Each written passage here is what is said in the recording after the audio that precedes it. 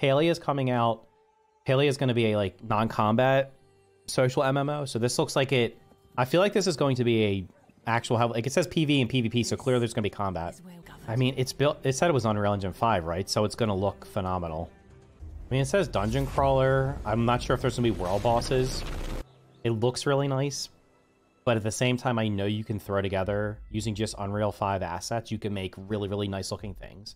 Social sandbox MMO.